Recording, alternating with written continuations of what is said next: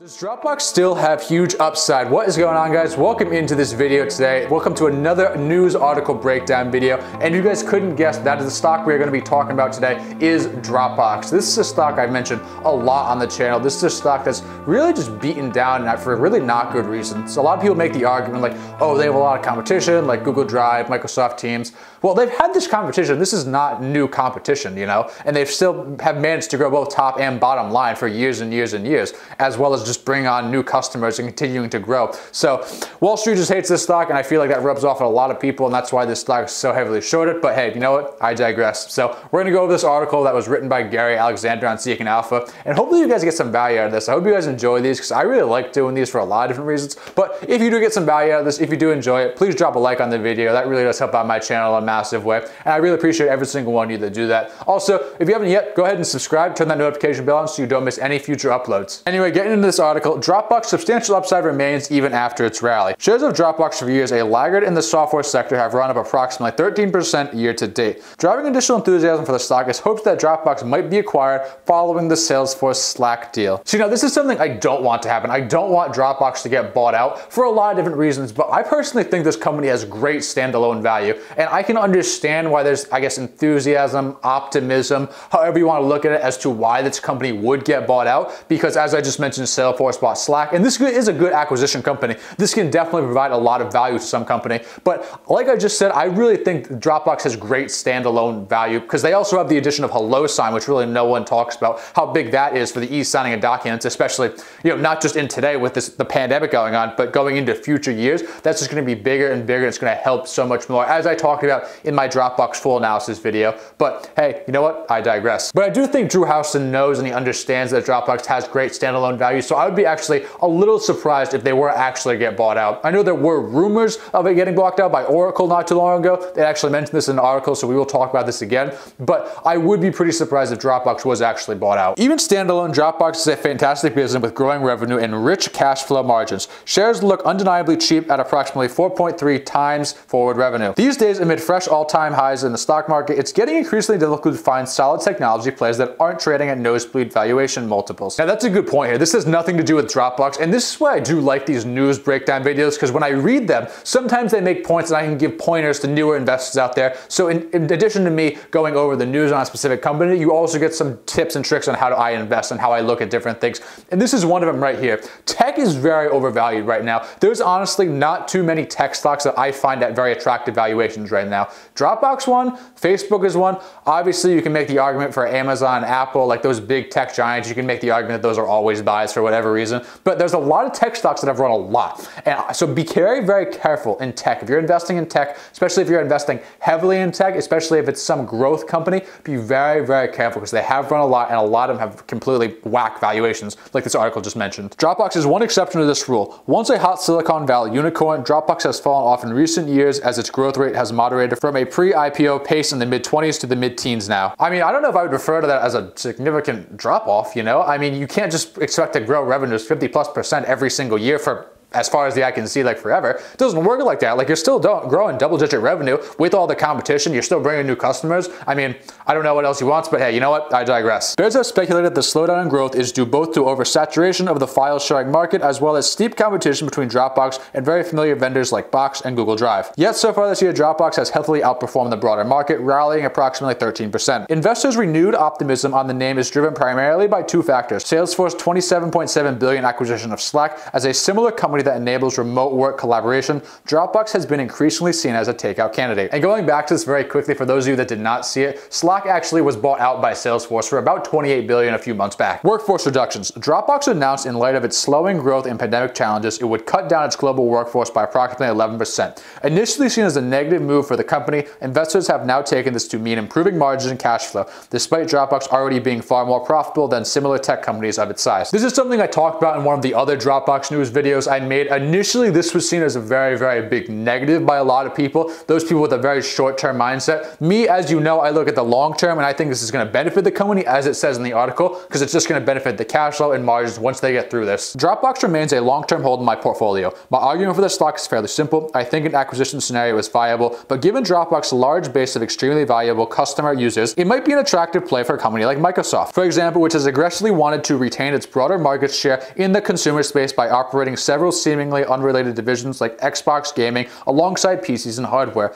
Yet, whether or not Dropbox has acquired, I think its most recent fundamentals show an incredibly vibrant company that will improve its margins even further after it slims down its workforce. Additionally, the stock's valuation, among the cheapest in enterprise software, shouldn't be ignored. In my view, the Dropbox rally still has legs. Stay long here. So I don't like what he's saying here, but I do agree with it. And what do I mean by that? So if they had to get bought out, someone like Microsoft does actually make sense because obviously Microsoft has experience in this space having Microsoft Teams. So this would fit in well. They could bring in more customers and it would just fit in well with the overall business model that they have in that sector right now. But as for the rally part of it, I actually do agree. I think this rally has a lot more to go. I mean, it really hasn't rallied a ton as of late at the time of me reading this, but I think it has a lot more to go in this rally. And they have earnings coming up on the 18th, so I believe Tuesday, Wednesday, Thursday, their earnings come out. So I wouldn't be surprised if Thursday this stock moved big one way or the other. Well, I don't know. It, I could be wrong. I could be wrong, but I really would not be surprised if this stock moved in a big way one way or the other. And guys,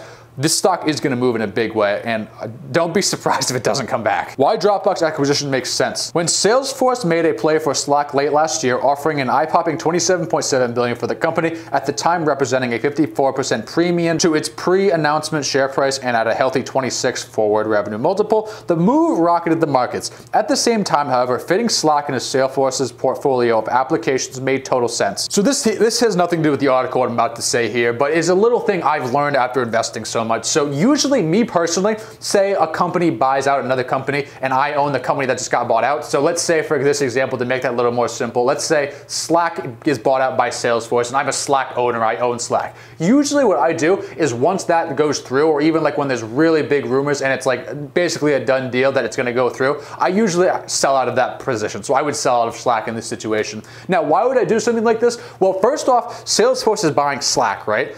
What if I'm not familiar with Salesforce and I'm very familiar with Slack? I invested in Slack. I didn't invest in Salesforce. I'm putting my hard-earned money into Slack. I put my hard-earned time and research efforts into Slack. I didn't put it into Salesforce. What if I don't like Salesforce's management team? What if I don't like what Salesforce is doing? What if Salesforce has no idea how to run this Slack business? It's a big risk and there's a lot more risk to it than I think initially people think initially people probably just think, oh, the stock's running up. This is perfect. This is great for the company. Not so much because a lot of times it runs because when a company gets bought out, the problem is they're getting they're selling out for a valuation that doesn't make sense because otherwise why would you really sell your company? Why would you sell it unless you're getting way overpaid? Think of it logically like that, right? But another thing is a lot of times what happens with deals like this is sometimes sometimes the company that buys out that smaller company really doesn't know how to use it to its best advantages if you know what I mean. In other words, a lot of times what happens, it can cause a lot of conflict between, say, we'll take company A and company B, or Salesforce and Slack will do again. So it can cause a lot of conflict between Salesforce's management team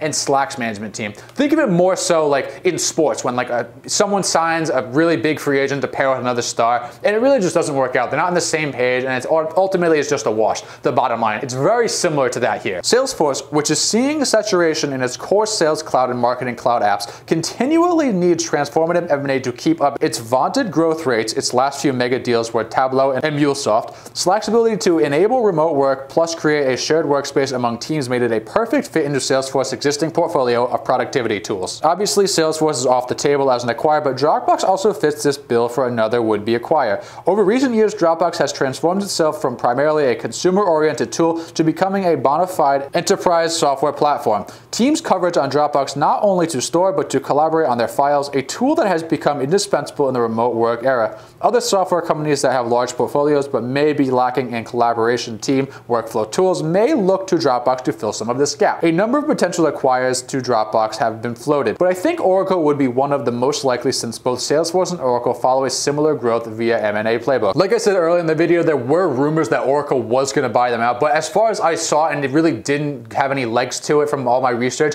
it was just rumors. Now, as I've said earlier in the video, I really hope they don't get get bought out, and I wouldn't even consider a risk of getting bought out, but if they do get bought out, I just think this company might be limited because I really think Drew Houston is going to turn this company into something fantastic. Beyond the enterprise applicability, Dropbox's base of 15 plus million retail users is also incredibly attractive. And that number's continuing to grow. As I mentioned before, despite being a large enterprise software company, Microsoft still prizes its consumer hardware and gaming divisions. Buying Dropbox would be a good way for a primarily enterprise-driven company to instantly gain a built-in base of consumer users. Dropbox is doing fantastic standalone as well. A key point I want to stress, however, is that the bullish thesis for Dropbox does not depend on an acquisition. In my view, Dropbox is performing incredibly well on its own. Take a look at the company's financials so far throughout Q3 of 2020. Then here they just basically have the income statement, what they did for revenues, gross profit, operating expenses, research and development. I'm not going to go over that. If you guys want to, I'll leave it here. You guys can pause and take a look at it if you want, or you can go look at it on their investor relations page or Yahoo Finance, but I'm not going to go over it in this video. In the third quarter, Dropbox grew its revenues at 14%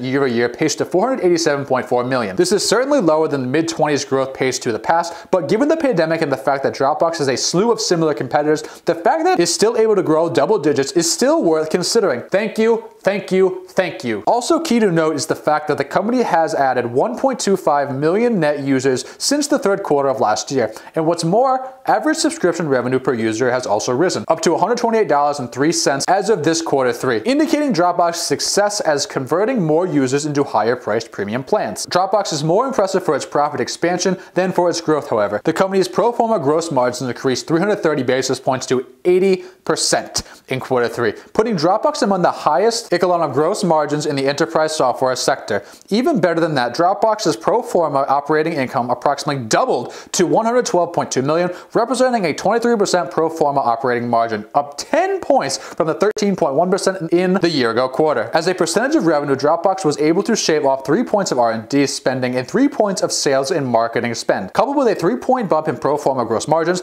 as the company moves to cut down 11% of its global workforce, we expect this margin expansion to continue. How can you hate a company like this? A company that can grow double digits, fight off the competition, trade cheap, Trade cheap. That's another thing, guys. No one even talks about that. It trades cheap. I'm not exactly sure what the forward PE is off the top of my head. I know it's under 30. It's definitely under 30. I think it's actually under 25. I believe it's 23. Let me know down in the comments what it is right now at the time of you guys are watching this. I believe it's 23. Go check that out on Yahoo Finance. Free cash flow has been another big draw for investing in Dropbox. Again, here's just their most recent free cash flow statement. I'm not going to go into depth here. They've got the net cash provided. They've got the free cash flow, free cash flow margins. Again, I'm not going to go into detail. Go ahead and pause it and check it out, or you can go look look at their investor relations page or Yahoo Finance if you want to do some more research yourself. Year to date, Dropbox has seen its free cash flow jump by 44% year over year to 332.3 million, also representing a 460 basis point improvement in cash flow margin. Again, we expect this trend to continue improving the back of the worst for reductions. And guys, this free cash flow is only going to rise once they don't have to pay those severance packages for the 11% of employees they cut, on top of not having to calculate that impairment charge for getting out of the lease of their warehouse. Valuation and key takeaways. In spite of solid standalone fundamentals, strengths plus the possibility of an acquisition,